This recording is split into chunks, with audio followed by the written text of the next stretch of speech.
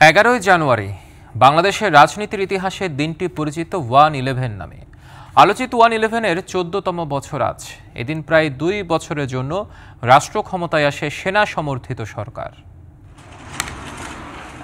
নবম জাতীয় সংসদ নির্বাচন তত্ত্বাবধায়ক সরকার ও নির্বাচন কমিশন গঠন নিয়ে রাজনৈতিক দলগুলোর মতানৈক্যের কারণে অস্থিতিশীল পরিস্থিতি মোকাবেলায় দুই হাজার সাত সালের এই দিনে জরুরি অবস্থা জারি করেন তৎকালীন রাষ্ট্রপতি ইয়াজউদ্দিন আহমেদ। রাষ্ট্র পরিচালনার দায়িত্বে আসে সেনা সমর্থিত তত্ত্বাবধায়ক সরকার, যার প্রধান ছিলেন বাংলাদেশ ব্যাংকের সাবেক গভর্নর ডক্টর ফখরুদ্দিন আহমেদ। দুই হাজার ছয় সালে বিএনপি জামায়াত জোট সরকারের মেয়াদ শেষ হওয়ার পর তত্ত্বাবধায়ক সরকার প্রধান কে হবেন এ বিতর্কের অবসান না হওয়ায় তৎকালীন রাষ্ট্রপতি ইয়াজউদ্দিন আহমেদ নিজেই ওই পদে বসেন। তিনি বিএনপির হয়ে কাজ করায় শুরু থেকেই সমালোচিত হতে থাকেন। সে সরকারের কর্মকাণ্ডের বিরোধিতা করে আওয়ামী লীগ নেতৃত্বাধীন চোদ্দ দলীয় জোট আন্দোলন অব্যাহত রাখে। ছবিসহ ভোটার তালিকা প্রণয়ন, ভুয়া ভোটার তালিকা সংশোধন, নির্বাচন কমিশন সংস্কার সহ বিভিন্ন ইস্যুতে আন্দোলন রূপ নেয় গণ আন্দোলনে।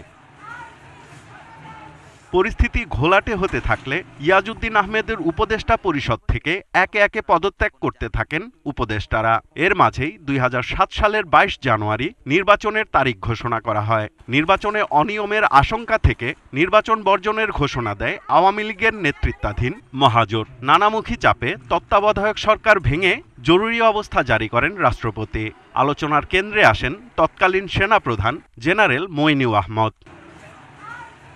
জরুরি অবস্থা জারির পরপরই রাজনৈতিক দলগুলোর কর্মকাণ্ড অনির্দিষ্টকালের জন্য স্থগিত করে সেনা সমর্থিত সরকার। দুর্নীতির অভিযোগে গ্রেপ্তার করা হয় দুই প্রধান রাজনৈতিক দল, বিএনপি, আওয়ামী লীগের শীর্ষ নেতা সহ বিভিন্ন স্তরের নেতাদের। এ সময় বাংলাদেশের রাজনীতি থেকে আওয়ামী লীগ সভাপতি শেখ হাসিনা ও বিএনপি চেয়ারপারসন খালেদা জিয়াকে বাদ দেয়ার গুঞ্জন ওঠে, যা মাইনাস টু ফর্মুলা নামে আলোচিত হয়।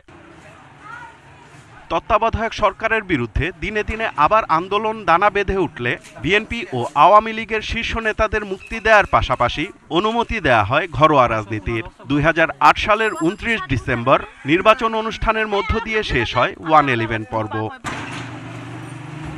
Saiful Ripon, DBC news, Dhaka.